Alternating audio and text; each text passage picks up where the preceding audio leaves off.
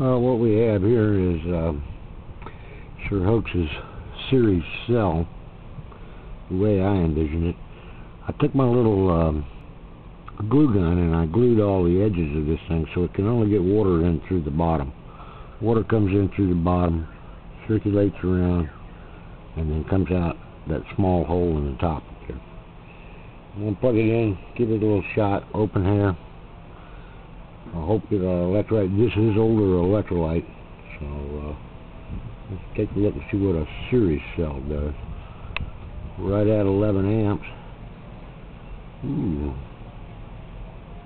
So I think what we're going to end up having to do is add uh, some more cuts back there. Look at this little dude go. 11 amps, 12 volts. I think what we're going to have to do, like I said, is probably open up the little passageways for the uh, water to come in there. I don't think I got enough flow. What I was counting on was uh, once the cell temperature got up, you get a little bit of thermal convection action going on there. Alright, here's my little flow meter.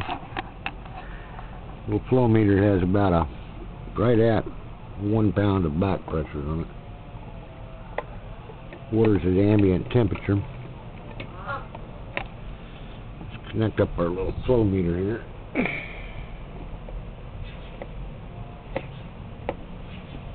See what we got. Let's see. We're going to start it right at two minutes. Of course, the water is still cool. Okay, we're producing gas now. Started about two minutes, three seconds, something like that. We're producing producing gas. Don't think we have any leaks. It's going right on down. Two minutes twenty-four. This is a half a liter of water we're moving here. 11 amps, 12 volts. So, pound of back pressure, a lot of back pressure actually for this little system. In my book, we can calculate the free flow knowing what we got here for back pressure. So let's see. Well, we're not quite there yet. This is uh, 500 milliliters. That's one minute, just about. At one pound of back pressure. Pressing 500 milliliters. That's a pound of back pressure. And I didn't realize that. I guess I wasn't paying attention, and water weighs quite a bit. So see, we're at one minute twenty nine. One, well, pretty close. We've got a little leak, not much of one. So, but this little guy is producing pretty well. I think we're still going to, like I said, we're going to open up the back uh, vents to get a little bit more water flow through the uh, system. Okay. We're right at almost two minutes. We are at two minutes in the system. But I may not have it. There it goes. Two minutes and uh, it looks like about 10 seconds to produce 500 milliliters. That's, that's still not too bad. But again, it's a cold cell.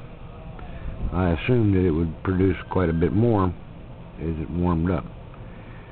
Anyhow, that was our first test of the uh, sirHOAX series cell. And it looks like it's going to be a winner all the way around. I got no leakage on the edges. That's good. I'd like to see PWM on this. Well, anyhow, this is my first one for today. sirHOAX's series cell. See if I can get that. 11 amps, 12 volts, a little over two minutes. About two minutes, two seconds to produce 500 milliliters. I'll reset it. We'll give it a shot a little bit later. Thanks for watching.